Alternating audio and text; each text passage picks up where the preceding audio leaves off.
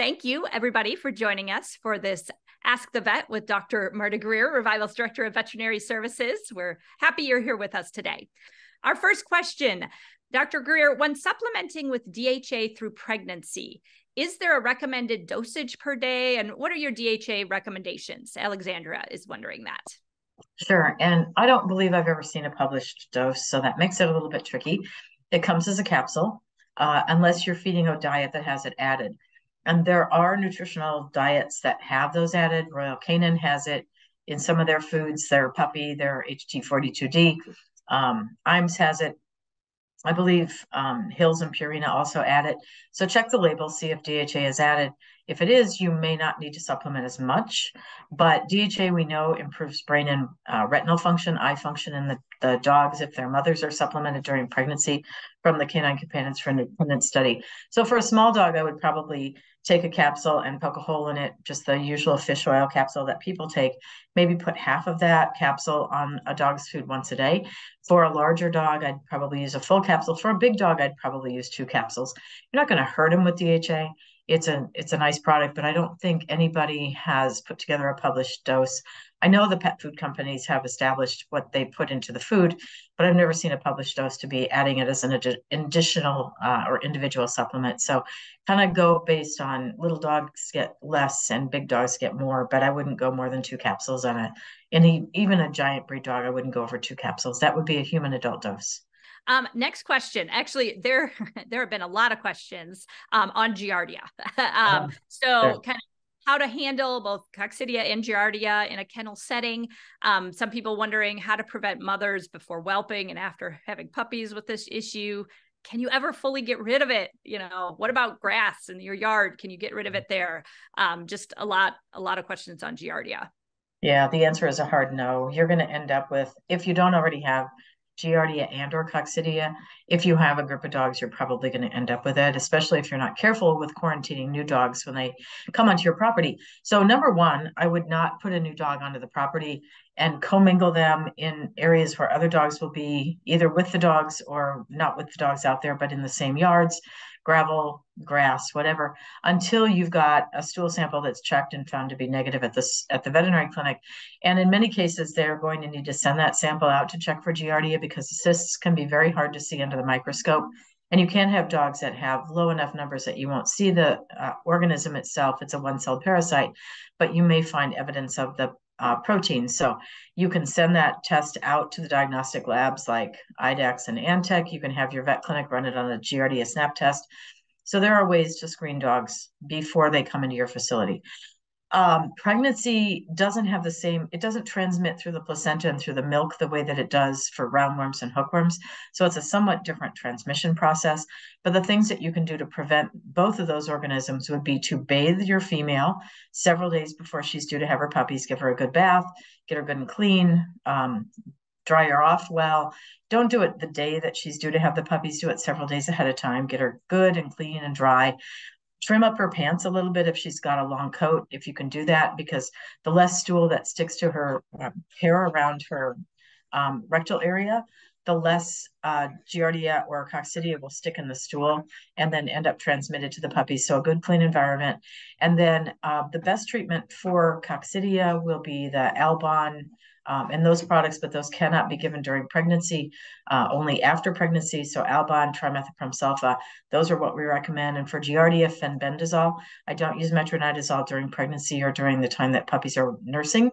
So I will use fenbendazole that is safe during pregnancy, and that can be given on a daily basis at the usual 50 milligram per kilogram dose once a day from the 42nd day of pregnancy to the 14th day of lactation. And then you can repeat that every two weeks if you need to puppies should not receive those medications, either Albon or uh, fenbendazole, until they're six weeks old.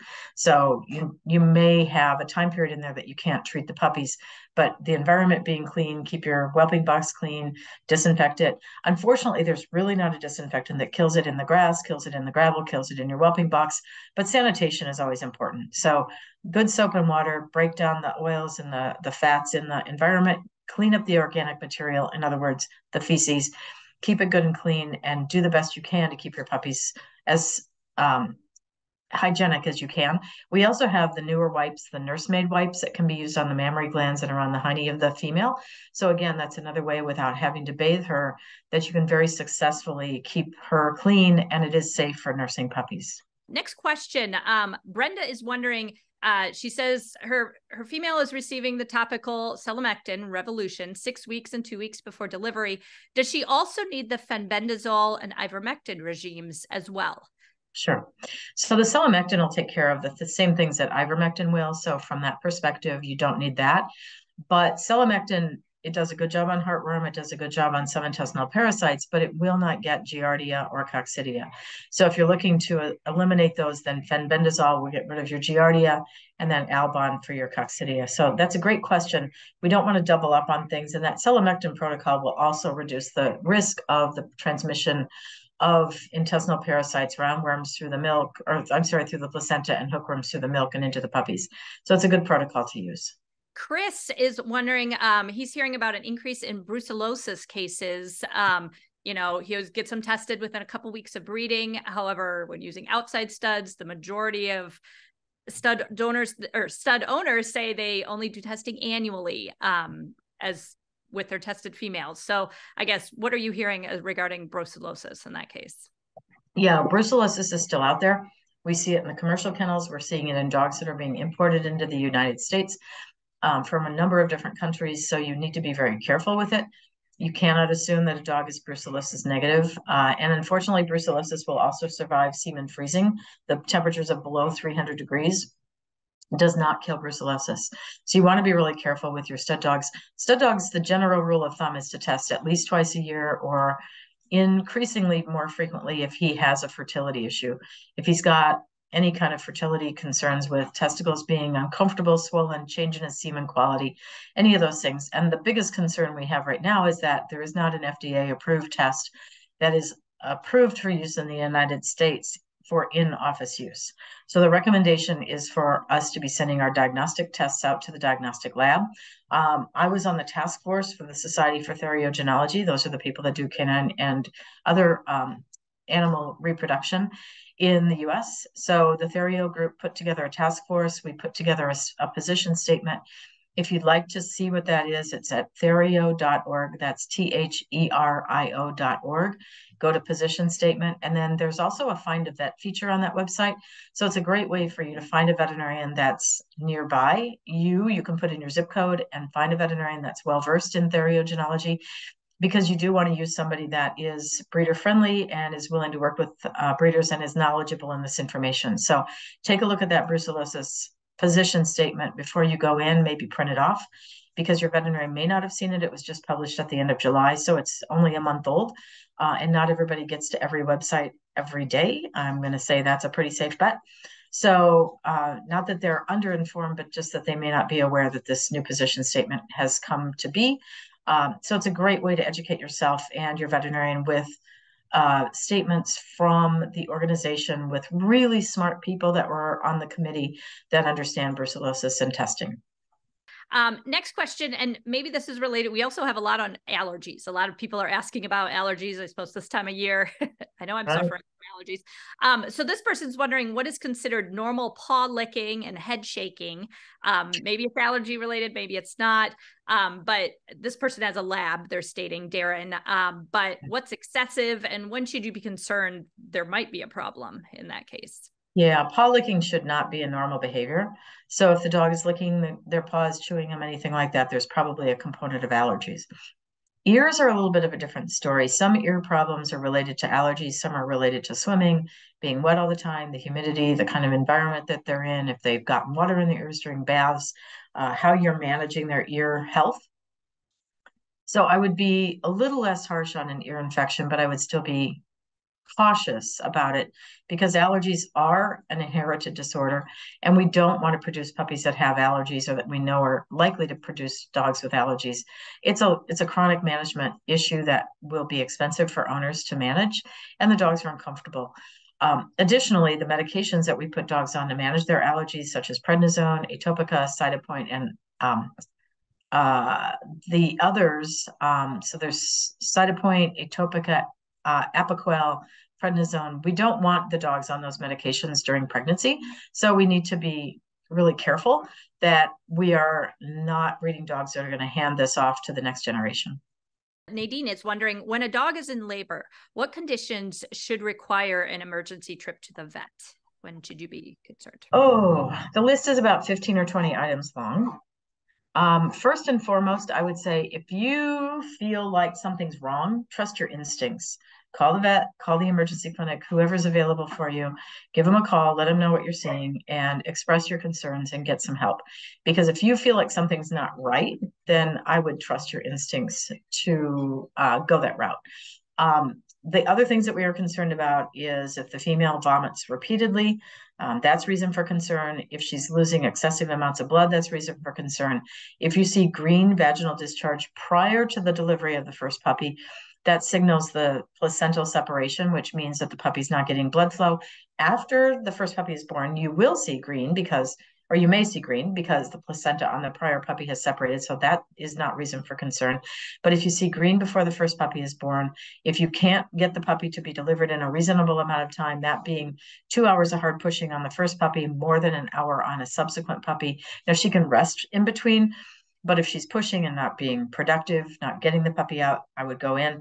If you put on gloves, a gloved finger or gloved couple of fingers, and you can reach in, but you can't get a hold of the puppy, and you're seeing a prolonged labor, I'd be concerned. If you're losing puppies, if puppies are being born dead, um, those are reasons for concern. So it's a it's a pretty long list of about 15 or 20 items. But essentially, I trust your instincts. And if your instincts are something's not right, she didn't do this last time, or this isn't what my dogs usually do when they're in labor, um, she's the puppy looks like it's in the wrong position. She, you know, something isn't going well. Then by all means uh, proceed. There are appropriate ways to give oral calcium and to give injectable oxytocin with your veterinarian's input and insights. But overuse of uh, particularly oxytocin can cause damage to the uterus, can shrink wrap the puppies, can cause the uterus to rupture. Um, I have seen a uterine rupture um, it is not a good thing for the puppy. It is definitely not a good thing for the mom. So don't wait too long. If you are under the impression that things just aren't going the way that it should be, then get yourself some veterinary intervention, get some help. Carol uh, just have some questions about patella issues um, and regarding surgery, even for toy breed puppies, um, just a few months old, uh, maybe just strained it. So um, just kind of wondering what can they do to help a female during pregnancy to help reduce the risk or strengthen those soft tissues in the puppies. Okay. And maybe talk a little bit about what patella is for those may not know. Sure. So the patella is the kneecap. So on the dog's back leg, it's the part of the leg that points forward toward their head. That's the same as your kneecap. Uh, so the patella is that little bone that sits in your kneecap or, or is your kneecap.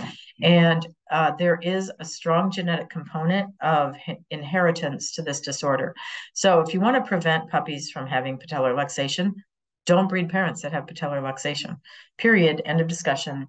There really isn't much else I can say about that. There's no preventive there's no supplement, there's no exercise, there's nothing you can do. Just don't breed parents that have it. And it's easy to have it screened for. There's no x ray involved. Your veterinarian can feel the kneecaps with their hands and they can position the leg in different um, flexion flexion positions to see if the kneecap pops on and off. And if it doesn't, then it's probably okay. If it does, it probably isn't. Um, now, really young dogs tend to have a little bit easier time. You can push those patellas off a little bit more easily mm-hmm. because their soft tissues are still developing. So I don't like to be too aggressive in palpation because you don't want to injure the puppy by too aggressively moving the patella. If the dog does have evidence of patellar luxation, I don't think any dog should have surgery, orthopedic surgery, for a condition like that until it's reached skeletal maturity, which means after the first heat cycle or after the uh, testes are mature. So the dog should go through puberty before you do anything surgical so that you know what their full uh, skeletal changes are going to be. And this is another reason not to spay or neuter our dogs really young before they have skeletal maturity, because we do increase the risk of patellar luxation, hip dysplasia, and other orthopedic conditions by spaying or neutering too early if we spay or neuter young before they go through heat or before they reach puberty and go through skeletal maturity, the legs actually don't end up with that nice angulation where the hip is here, the knee is in front of it, the hock is behind it, and the foot is below the hip. That should be that kind of a V-shaped uh, limb. And if we spay and neuter young, we end up making the growth plates close too late. So the legs grow longer and straighter. And it's really important that we don't do those early spay and neuters because we do put our dogs at increased risk of orthopedic problems, different forms of cancer, allergies, a lot of different things, which goes down a different rabbit hole. So basic bottom line is don't let your veterinarian spay or neuter your pet until they're through skeletal, skeletal maturity. And if they do think they have patellar luxation, don't be in a hurry to cut that because it is um, a big deal to try and reposition that before the puppy has developed their full skeletal system. Next question, Parvo. Um, obviously, a few people have talked about that. Um, yeah. Joy, in this particular situation, uh, she works with a rescue community, um, has for many years, and she's saying over the past year they've seemed like cases of Parvo like never before. Um, they kind of, she's wondering, is there a new strand? Uh, she said mm-hmm. she's had puppies and dogs that seem to be healthy one day, sick right. next. Um, you know, I guess what are you hearing about this? Is there a new variant? What are your thoughts and suggestions? There are probably not new strains of parvo, but there are certainly puppies that get parvo, especially if it's combined with coronavirus at the same time, that take the puppies out so fast they don't even look like they're sick. They go from being normal to being deceased in hours. So that's number one. Number two is there's a new product coming to market, and I believe that's why Elanco had the webinar last night for veterinarians. So this is just something that's about to come to market, I believe, in September. It's a monoclonal antibody that will deliberately and specifically block parvovirus. It's given intravenously. It has to be kept frozen. It needs to be administered by a veterinarian intravenously. Uh, but it is going to be a complete and total game changer for people that have gotten parvo into their facilities. Now, we do have some really good articles on parvovirus, both prevention and management of that disease, but management is going to change completely. Until now, we've done IV fluids, maybe plasma, um, Cerenia as an anti-nausea drug, Convenia as an antibiotic, supportive care. Those things have all been really useful in managing puppies that have parvo. But the monoclonal antibody that Elanco is bringing to market, and I'm not even sure what the name of it's going to be yet, is going to be a complete and total game changer. Will it be expensive? Yes but it's also expensive to lose puppies. So it's going to completely change the game. The other thing to realize is that parvo does not stand alone. Yes, it's a virus, but if you have good environmental control of health, you have cleaned up your raccoon latrines so that dogs aren't bringing parvo into your facility. You're quarantining dogs before they come into your facility. You're deworming your puppies at two, four, six, and eight weeks of age so that they're not parasite ridden. All of those things are going to reduce the risk that your dogs get parvovirus. So it's really important that we do a great job with parasite control and vaccination is not going to get you completely out of this. We don't recommend vaccinating until they're at least six weeks old and not any more often than every two weeks. There are places that feel like if a vaccination every two weeks is good, then more often is better, and it's actually not. So please don't vaccinate your puppies any more often than every 14 days. Even the most important uh, information that was shared last night from the um, Association of Shelter Veterinarians indicated that two week intervals are as close together as you should be vaccinating. So don't think if a little is good, more is better. Make, make sure your deworming is fine. Make sure your bitches are up to date on their vaccines. And you can do nomograms on your females, which is a blood test, a titer to establish what their antibody level is.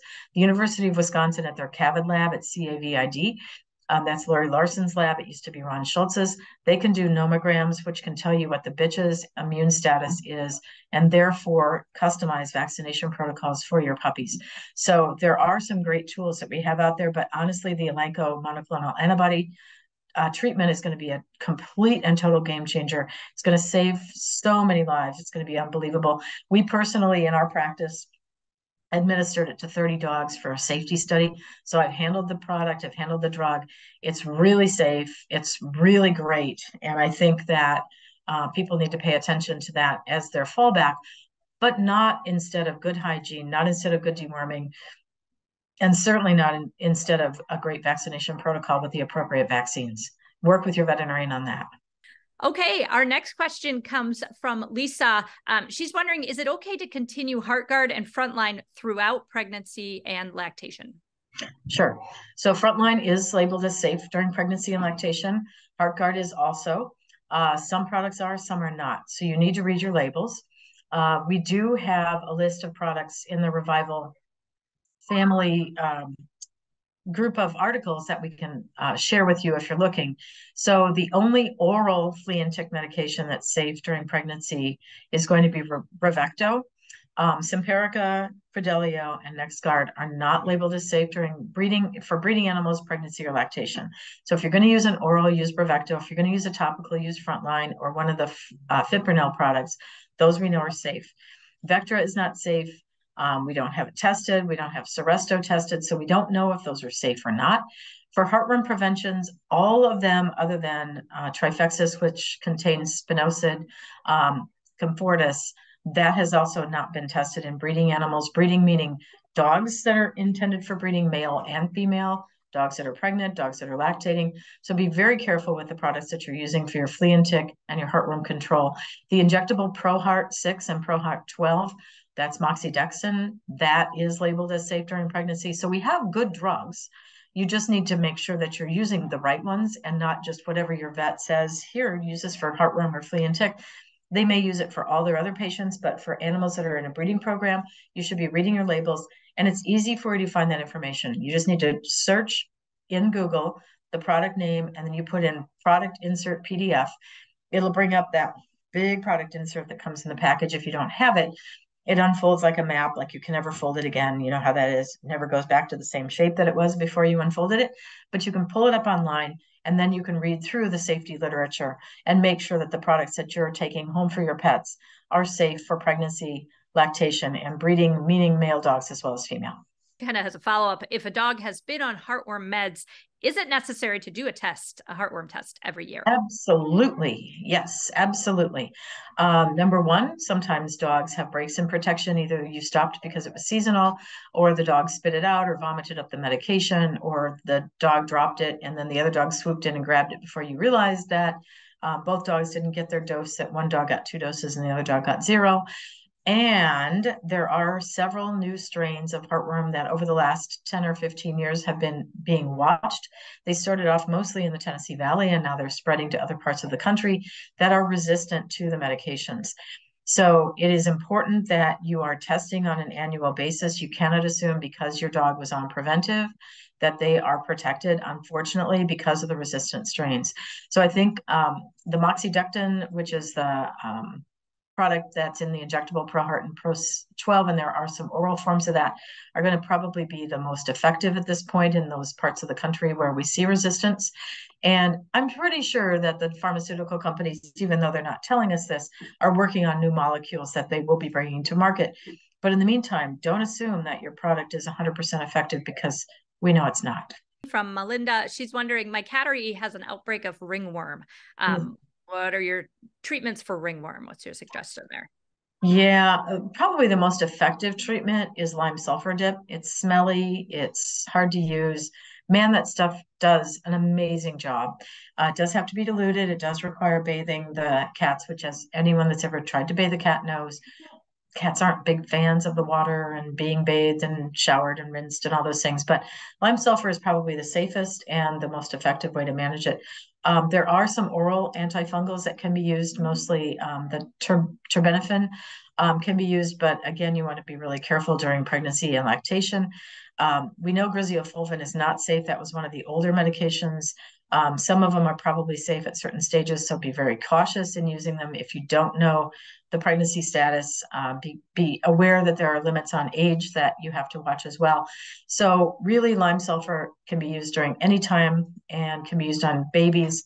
Um, and it's stinky. Oh man, it smells terrible. You need to wear gloves. You need to ventilate well, but it will be your fastest way out of a ringworm outbreak uh, you know, usually the best way isn't the easiest way, unfortunately.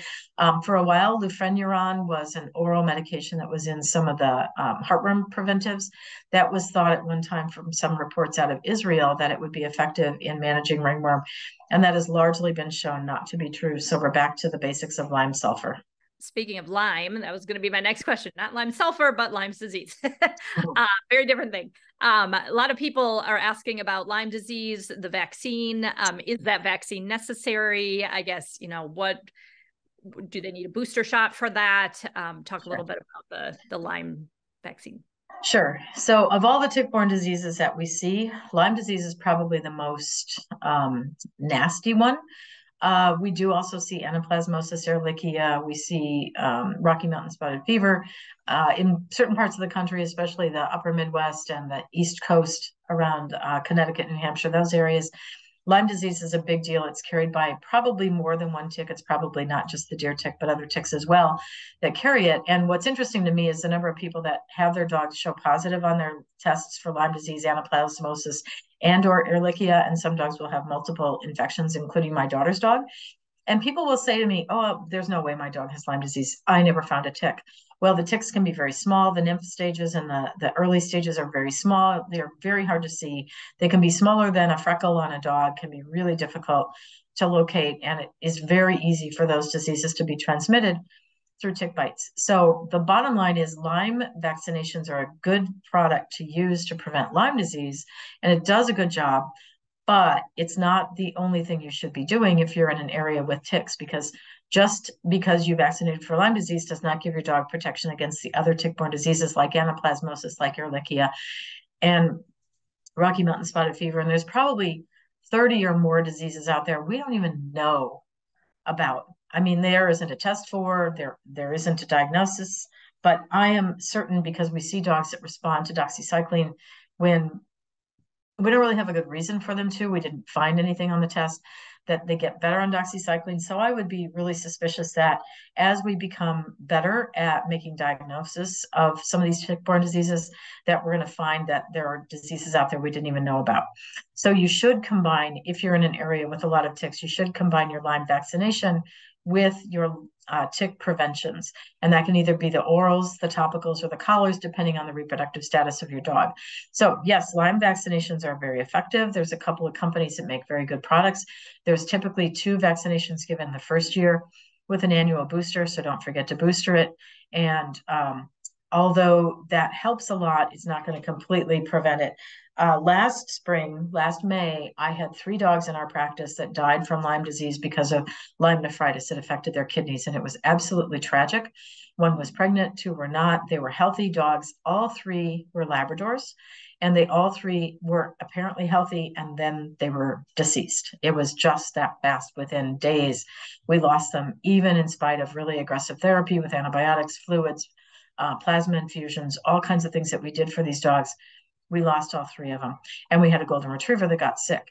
Um, Bernese mountain dogs, Labradors, Goldens, those are at increased risk genetically. They probably have a tendency to have Lyme disease.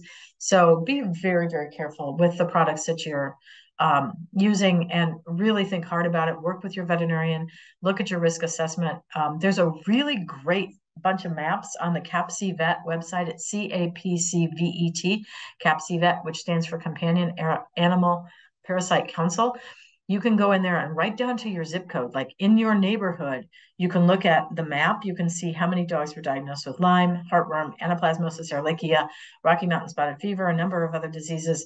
They also have a feline map uh, for the cat diseases. So if you're really curious about this, go in, put in your zip code, and see what's happening in your neighborhood. And you're going to be like, oh my goodness, here I didn't know all these things were happening. So take a look at that and assess your dog or cat's risk for some of those diseases, and then respond to that by working with your veterinarian for the appropriate preventions, both vaccinations and uh, flea and tick control medications this person is wondering they say they have a female dog that had her first season at one and a half years of age. Um, they've heard that they've heard you talk before and you've discussed the breeder's edge be strong before as a product to potentially use in this situation. Um, they're wondering is this something that would help? Do you put it on it daily um, just for a certain period of time? Um, how should that be used well, I guess I'm not really sure what their question is because that's a normal thing for a dog to have a heat cycle at one and a half year of age. Um, I wouldn't be concerned about that.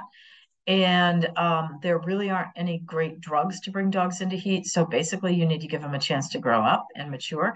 Um, there's a lot to be said about nutrition, lighting, other environmental issues, other dogs in the environment. So it's nice to have a male dog in the household that can tell you if she's in heat. You want to make sure she's getting at least 14 hours of daylight so that she's getting enough daylight for her to have normal ovarian function. So if she's in a, a kennel that you turn the lights off, or if she's in a bedroom where the blinds are shut, if she's in a basement where you have stuff stacked on top of crates, there may be inadequate amounts of light for her to cycle.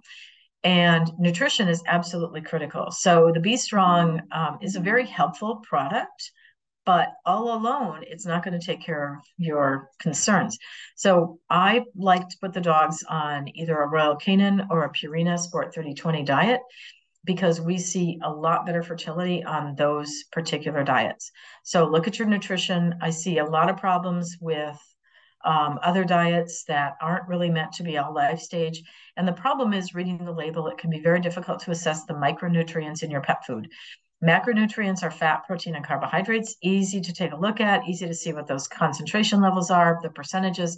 But the micronutrients, the vitamins, the minerals, the amino acid supplements that are in the life stage foods of Purina Sport 3020 and Royal Canin HT42D are there for reproduction. So take a look at those diets. The first thing I do is ask people what they feed. The second thing I do is ask what else do they feed because nobody just feeds dog food. They always add something.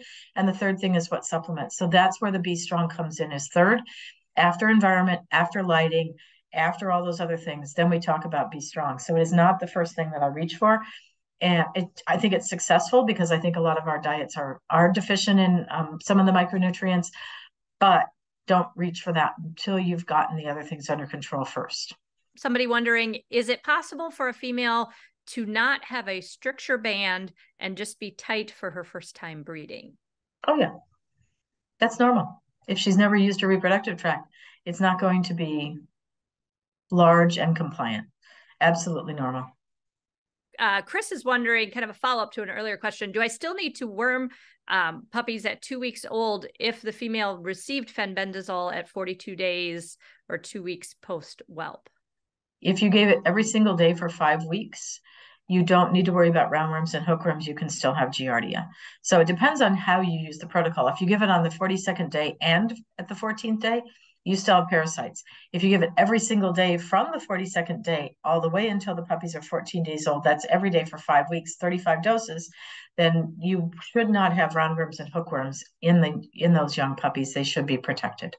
Debbie is wondering, can you advise about expirations on vaccinations? She specifically said the DAPPV. Um, it is important. Is it what if it they're just a little bit expired? Is that okay? When should you draw yeah. the line? Expired is expired. It should be stored correctly in a refrigerator, not on the door, so that the temperature changes as you open and close the refrigerator door. You should make sure that uh, you are um, using it before the expiration date. You should make sure you don't make it up more than two hours ahead of using it. You should make sure it's for the right species, the right age, all those things.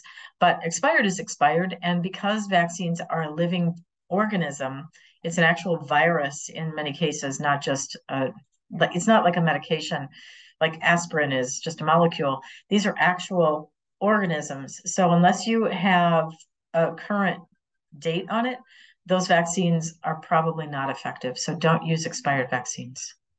A lot of people are asking about um, preventing puppies, fading puppy syndrome.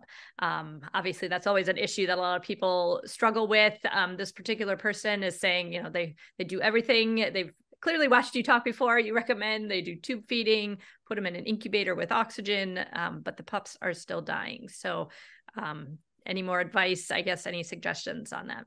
Well, there is no fading puppy syndrome as a diagnosis. It's a description. It just tells us that puppies have died, but it doesn't tell us why. So we need to look at the puppy's weight, urine color, temperature, and uh, oxygenation. So the incubator helps, the tube feeding helps, all those things are important. But if you're losing puppies, we need to be looking at is there an infectious disease? Is there a genetic predisposition that these two parents don't produce healthy puppies? Is there an environmental issue? Is the bitch not lactating adequately? Is she not a good mother? Um, how big are they when they're born? How many puppies are in your litter? Those are all really important things. What were their APGAR scores when they were born? So I think if you've probably watched some of these videos, you've gone through that. And if you've done all those things and you're still losing puppies, I strongly encourage people to send those puppies into the diagnostic lab to make sure that they're getting a diagnosis for what's going on. Now, not all diagnostic labs are created equal. Some are really great at infectious diseases and other disorders that puppies die from. Others are like, yep, it's dead. And that's really all they tell you. So make sure you're using your veterinary uh, clinic and the diagnostic lab that they have faith in. If they have any questions about it, they can certainly contact me. I'm happy to talk to veterinarians about submission. Um, there are great diagnostic labs, and then there are some that are just really not useful at all. So if you're going to spend your money on shipping the puppy and getting an answer, you need to use a reliable lab that will produce an answer for you. There's always an answer. Um, are you dipping the cords in iodine? What are the other things that are happening in your facility? Is it all one line of dogs? Is it multiple breeds? You know, there's a thousand questions that go with this. So um, I understand your frustration. It's really hard to lose puppies. It's it's very painful emotionally and financially, but we can help get you an answer if we work with your veterinary clinic on submission of those puppies. So if you lose any, refrigerate, do not freeze, and contact us, and we'll help you get them submitted. You know there's a lot of misinformation out there a lot of information on all sorts of things. Um, this person's asking about vaccines. They see on things on youtube saying vaccinations aren't safe or you know you, you shouldn't vaccinate. Um, i guess what are your thoughts there regarding vaccination well, we have not eradicated the diseases that we can protect puppies against with vaccinations, particularly parvo. We've spoken about that already today. Parvo is still out there, it's still rampant. It is not unusual to have parvovirus run through a facility, a kennel, uh, a, a rescue, a boarding facility, whatever. Um, vaccines really have probably been the single most important breakthrough that we've had in medicine, probably more important than anesthesia, more important than antibiotics, certainly more important than chemotherapy and cancer treatments in the number of lives that we've saved by vaccinations. So I cannot say that I would discredit vaccinations. Are there some that I think are better than others? Oh, yes, I think there are. But the basic distemper parvo vaccinations with adenovirus in them that we give to younger dogs, rabies vaccinations. Um, I mean, if you go to other countries, people die of rabies. People die of rabies. In the United States, on average, one person dies of rabies a year in the US. In other countries like the Philippines and India, thousands and thousands of people die from rabies. So it's um, hard for me to understand why you would not feel like there's a strong benefit to vaccinations. Should you use them correctly? Yes, they are one of the strongest things that you can put into your dog's body. So I am careful how I give them. I'm careful which ones I select. I'm careful how I space them out. I'm careful how I use them, how I administer them, who I recommend what for based on their lifestyle and risk assessment. But I think lumping all vaccinations into a category of they're not safe is really um, a doing a disservice to you, your family, your dogs, to the things that we can do because we have saved millions and millions and millions of lives, dogs, human, um, cattle, horses, you name it, the species. If we can vaccinate, we are saving lives, but not without judicious use of those vaccinations. So um, do titers, be smart about it, space them out, use your veterinarian, use the risk assessment protocols on the American Animal Hospital Association and the American Feline Practitioners Association websites. That's AAFP and AHA, AAHA. So look up those information pieces. Uh, find the information that you need, work with your veterinarian, but don't throw vaccines out the window because they are life saving um, products that we have on the human and veterinary side. They're hugely successful in saving lives. Lisa has a couple questions regarding AI, um, kind of the difference between natural and and AI breeding, and will a male naturally mount if he is collected for AI? So AI, we have to be careful when we use this now because AI is now also meaning artificial intelligence. So I we want to make sure we're talking about artificial insemination. Um, so AIs probably don't get you quite as many pregnancies or quite as many puppies as you get with a natural breeding, but they're better than missing a breeding. Um, some male dogs need some practice before they figure out how to mate a female or how to be collected. So with some practice, some experience, you can get these guys to understand what you're asking them to do. You want to use a quiet room. You want to use somebody with some experience. You don't need the whole neighborhood there watching. Um, sometimes dogs have been told no so many times by their primary person that they live with that they flat out refuse to collect because they've been told no, no, no, no, no. So they're like, not doing it. Um, sometimes the female's been intimidating to the male if you tried to introduce them too soon and the female turned around and snarked at him, then he may be reluctant to go ahead and mount. Uh, so do be thoughtful about how you do your AIs and do understand that there is a learning curve for these boys to figure out what you're asking them to do. So um, artificial insemination is a great tool. We use it a lot in our practice because we do have people that are using sophisticated breeding systems like Fresh Chilled and frozen semen. So I rely heavily on artificial insemination, but it has to be done correctly and you have to give the male a chance to figure out what you're asking him to do. We have a couple questions on prenatal supplements and folic su- supplements. Um, this person had their first cleft palate on a Pembroke and um, just kind of wondering, you know, would folic supplements help and dosing and how long and what do you recommend when it comes to that? Sure. So folic acid, there was a pu- published article in 2013 out of Poland that demonstrates that they reduce the risk of cleft palates um, which was one of the midline defects in small breed brachycephalic dogs, specifically, I think it was Chihuahuas and French Bulldogs. So there's definitely a benefit to using folic acid. Um, in Pembroke Welsh Corgis, they tend to also have a possibility of cleft palates. It can be genetic. Um, it can be genetic in any breed, but it's more common in the brachycephalics, the short-faced dogs, the Shih Tzus, the Lhasas, the Frenchies, the Pugs, the Bulldogs. Um, so those brachycephalic dogs do have an increased risk. And even genetically, though, their tendency to have that cleft palate, we can reduce that risk with folic acid. The only published dose is five milligrams per dog per day. Um, HT42D, which is the pregnancy diet that Royal Canin makes, does have folic acid added to it. So if you don't have a, a brachycephalic dog, you probably don't need to supplement more. If you do have a brachycephalic, I probably would anyway. Um, folic acid comes in 400 microgram capsules. So if you wanted to get to a five milligram, the published dose, that would be 12 a day. That's not practical for most people to give 12 to their dog, and I think it's unnecessary. But a small breed dog, I would easily give 400 micrograms twice a day. A larger breed dog, maybe a corgi, I would do two to four of those a day. Um, we don't have a great published dose other than the one, and I think we would look, really benefit from more research, but right now that's all we have. But I would never hesitate to do it. It's a B vitamin, it's water soluble. If you give too much, it comes out in the urine, and it doesn't hurt to do that. Now, the other thing to be aware of is that besides genetics, there can be environmental causes of cleft palates. Typically, that's if a steroid or some other drug like a trimethoprim sulfa antibiotic was given to the bitch at certain stages of her pregnancy. So be really careful what you're giving during pregnancy. Pregnancy should not be um, taken for granted. It should be a drug-free period of time, other than the drugs that we know are going to improve the quality of the pregnancy, like fenbendazole. So be aware of that. But um, yes, folic acid can be used. Yes, you need to do it. If you're going to do it, you should start six weeks or more before the heat cycle starts. So don't wait until she's pregnant or at the ultrasound because by then you've missed that window of opportunity we Polly is wondering is gabapentin effective as a standalone general pain medication? Probably not. It will help with a neural pain, nerve pain like back pain, um, certain other kinds of nerve pain. You it can be safely used with non-steroidal anti-inflammatories like Metacam, Rimadyl, Carprofen, Meloxicam, uh, Galliprant. But standalone, it's probably insufficient for most pain.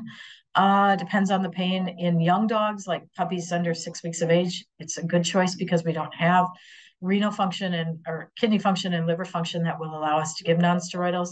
Some dogs can't take nonsteroidals because of other health conditions, so we may have to use gabapentin along with some other things. But GABA alone is probably not enough for most dogs that are having arthritis or other pain. Um, there is a nice pain medication on the market right now, another monoclonal antibody medication for cats called Solensia for cats with arthritis. And Librella is going to be the dog equivalent to that coming to market. Both of them are Zoetis products.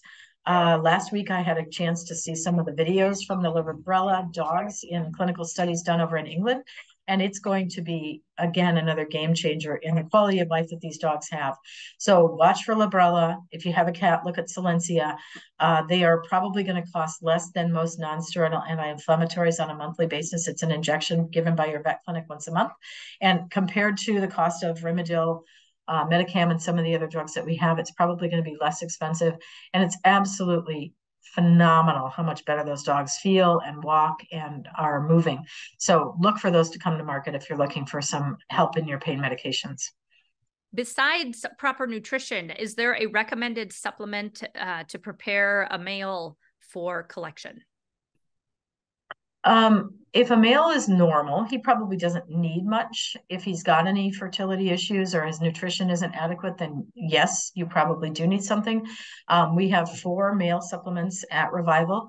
We have Problem Male for the dogs that are already experiencing some fertility issues like poor semen quality. We have Get Them Going if we have a dog with low libido that needs some help getting the collection accomplished. We have um, in between for him. We also have an in between for her, but that's not what the question is. And then we have um, Oxy Studs. So we have four great products depending on where your dog is in his reproductive cycle. But again, back like we talked about the female bringing her into heat, the first thing is to look at your basic environment and your basic nutrition. So if the dog is not on a quality nutritional plane, they're already behind the eight ball. So nothing you're going to supplement is going to fix that problem. So again, I'm pretty heavy on let's do Purina or let's do Royal Canin. And I can tell you hundreds of stories of people that have had very good successes with those diets when they've had previous failures on other nutrition. Uh, so uh, just be really aware of what you're feeding. Take a look at it. If you've always fed it and you've had good fertility, it doesn't mean you're going to continue to. Nutritional products change from time to time. The diet companies, because of commodity market changes, change their formulas. And sometimes we see nutritional needs starting to slide because of that. So I've been sticking with the Purina and the Royal Canin products and having very good success. My personal dogs eat Royal Canin, and I would not feed them anything other than that or Purina for great success in reproduction. Somebody is wondering is it necessary to continue progesterone testing once she has reached 4NG? Oh boy, yes. So my own personal dog, one of them, um, got as far as four and then failed to ovulate two heat cycles in a row. Um, even though she was being fed appropriately and everything else was going well, she's um, got a cystic ovary, and that is not going to respond to nutrition. So, yes, you do need to make sure that she rises above five. I usually like to see it 10 or higher before I stop the testing. Um, just be aware that they don't always rise the way that you expect them to. And if they fail to rise, you're not going to have a pregnancy. And then at 30 days, when you do your ultrasound, or at 60 days, when you're expecting a litter of puppies and you don't have one, you're not going to have an explanation for what happened. So please be aware that you should see one test above five, um, preferably 10 or above before you stop the testing. I know we talked about Giardia and Coccidia earlier. Lori's wondering, do you still recommend deworming for both Coccidia and Giardia, even if you've never had a history of either one? No, if you have negative fecals, you don't see coccidia, you don't see giardia, you don't have a giardia positive antigen test, I would not administer medications if it's not necessary. So no, I would only treat if I have it or if I have diarrhea and I can't figure out what's going on and I take a sample in and find out that that's what I have. Um, then yes, you should appropriately treat, but not unnecessarily. Um, somebody's wondering if you have an open fontanelle at birth, by what age will it generally close? They said it's a Pembroke, or when is it time to worry? Yeah, a Pembroke should not have an open fontanelle at birth. Um, the brachycephalics, the Chihuahuas, the dome-headed dogs, Pomeranians, um, a lot of those can. And we can see hydrocephalus even if the dog doesn't have an open fontanelle. I'm taking care of a golden retriever right now, a puppy that has a very domed head and hydrocephalus, but is does not have an open fontanelle. Um, so the fontanelle should either not be open or should be closed within a, a few days of birth. So I'd be concerned in a Pembroke that has an open fontanelle that I have a problem with hydrocephalus or some other neurologic condition. Trina is wondering, she says she has a well bred female um, who had an open pyo first heat cycle. She was treated with Baytril, Alizine, oh my goodness, a big long P word that I don't know if I could say. So, and she's used that successfully. She is fully health screamed, um, has her CHIC, and I'm really hoping for a successful litter. Um, sure. I guess. Your thoughts are? so don't skip a heat cycle. When she comes into heat, breeder. I was talking to a client yesterday that was in my exam room that her female just produced her third litter after a pyometra. So she had a pyo. We've successfully treated her. She bred her three times in a row. This last litter, she had seven puppies with frozen semen on a 40 pound dog. So a seven puppy litter on a dog that size, very successful litter. So you absolutely can get pregnancies to happen after pyometras if you don't spay them, but do not skip a heat cycle. You need to do breeder back to back to back. You need to talk about nutrition. You need to talk to your veterinarian about whether an antibiotic is appropriate during the next breeding. But those are all great things. So congratulations on not spaying her and get her pregnant. You're going to run out of time if you don't do it soon. Uh, Lisa's wondering if a female dog is C sectioned, must she be spayed? Will C sectioning affect her ability to produce milk?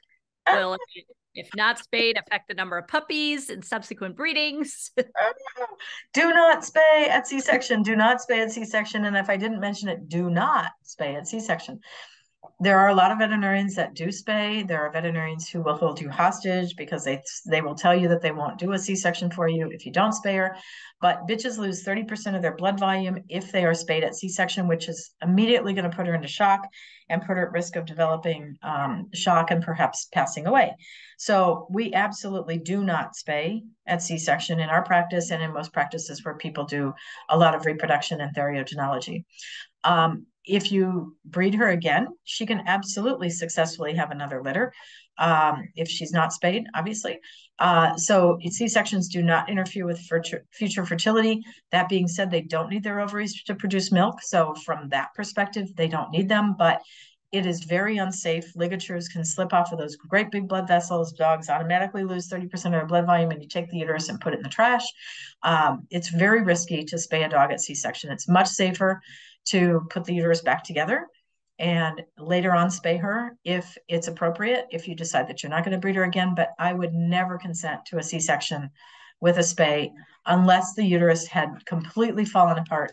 And I've only seen that once, once. And I've been doing surgery on dogs for C sections for 42 years. So if it was common, I'd have been seeing it. Alexandra actually kind of has a follow up question. So, when you're ready to retire your female from breeding, um, when do you recommend as the best time to spay her following her last litter? Yeah, so I like the puppies weaned at least for four weeks so that the mammary glands are dried up and it's easier for the incision to be open and closed without a lot of blood flow. Um, that being said, you can do it anytime that she's not in heat, but more than four weeks after the puppies are weaned. Um, I do recommend spaying them after you're done using her for a breeding program because of the risk of pyometra.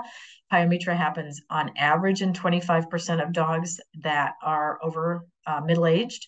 So it's a very common condition. It can be a fatal condition. And if you don't end up losing your dog to it, it can be a very expensive condition to treat. Now, the International Symposium for Canine and Feline Reproduction had an article in 2012 about the incidence of pyometra based on breed.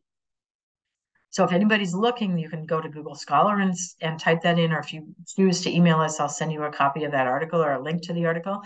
Um, and it will uh, define for you which breeds are at increased risk. Bernese Mountain Dogs have a 46% chance of pyometra. The other breeds in that list were Leonbergers, Great Danes, Keeshonds, um, American Staffordshire Bull Terriers, um, mostly giant breed dogs, Rottweilers. Uh, so in the top uh, 10 dogs. They were mostly giant breed dogs of European descent, other than the Kazan, which is not a giant breed dog, but still of Northern European descent. So important to spay when you're done with a breeding program, but never at the C-section. Somebody's asking, what's the difference between a spay and OSS?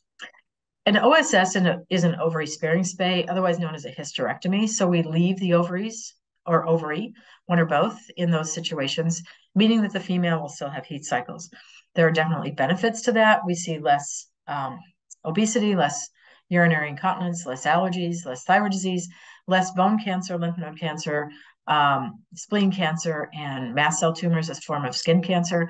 Uh, so there's a lot of benefits to leaving the ovaries, but they still have heat cycles. If you do leave the ovaries, you have to go the, all the way down to the other end of the uterus, remove the entire uterus from the ovary down past the cervix so that they don't end up with a pyometra later on uh, because any uterine tissue under the influence of uh, progesterone after a heat cycle can develop a pyometra, even if there's not a piece of it there, if you've taken some of it out. You have to go all the way down to the cervix.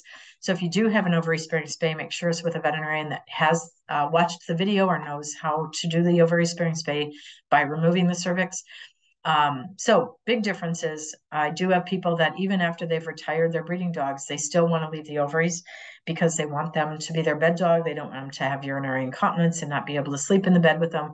So it is again a conversation to have with your veterinarian. The Parsemus Foundation has a great article on it. The Therio Foundation has a great article about it. There is a Facebook page for ovary sparing spay and vasectomy veterinarians. So there's a lot of good information out there. I have a page on our website if anybody's interested that goes through all the advantages and disadvantages of those products or those those procedures. So you have a couple of good resources. Um, Dr. David Waters has spoken eloquently about um, retaining hormones for dogs, male and female. So I think there's some great literature out there. You just have to research it and then have a conversation with your veterinarian about what your best choice is. Um, Jamie's just wondering, do you recommend adding chlamydia vaccine to catteries? Um, they currently don't do that. They're wondering if that's something they should consider. I would in a cattery. Uh, I think chlamydia is a pretty common organism. Um, it's not quite as bad as panleukopenia, but it is still a pretty serious disease. So I would do chlamydia. I've in the past, for the last 42 years, used an intranasal feline vaccine product, and I've just been told in the last couple of weeks that it's currently off the market. So that makes it a little bit harder to um, get some of the vaccines that we really like using. But yes, chlamydia, panleukopenia, rhino, uh, those are important. And feline leukemia is also recommended for most kittens. So again, if you go to the American Association of Feline Practitioners website, AAFP, you can find the information about the vaccination protocols. And AHA, the American Animal Hospital Association, uh, also has a great website for uh, lifestyle and appropriate vaccinations based on lifestyle. If you have more questions, visit our Learning Center. Um, a lot of the information that Dr. Greer covered today, we have covered in the past um, in webinars, in videos, in articles. So scan that QR code there, and that will take you right to the Revival Animal Health Learning Center. And that will give you all the information you need as well. You can search, I mean, we have literally every topic you can think of under the sun on there, I think. So, um, and a lot of the information is all right from Dr. Greer. So, make sure to check that out as well. So, again, thank you all for joining us today. Um, we hope you have a great rest of your day. And again, call our Pet Care Pros if we weren't able to get to your question today. Thanks a lot. Have a great day. Hi, if you're watching on YouTube, consider subscribing to the Revival Animal Health YouTube channel. If you have a pet health question, call our Pet Care Pros at this number. And don't miss our other pet health videos.